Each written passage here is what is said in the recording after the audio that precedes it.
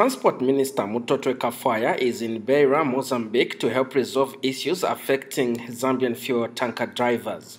Over 50 Zambian tanker drivers are stranded in Mozambique because they are unable to load fuel destined for Zambia. Mr. Kafwaya, who has also toured the port of Beira, was accompanied by his Mozambican counterpart, Janfar Abdulai, and union representative from the Zambian truck drivers. About 40% of fuel imported in Zambia comes from the port of Beira, and Mr. Kafuaya has taken time to meet the Zambian drivers to hear their concerns.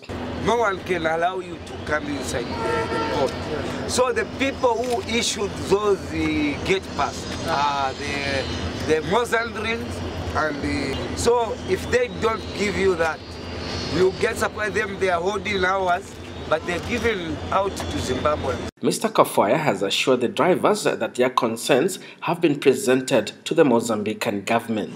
So for us as the Zambian government, we are very, very happy.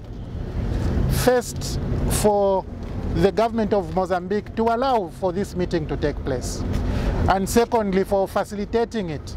Because as you can see, without their effort, we cannot be able to handle this.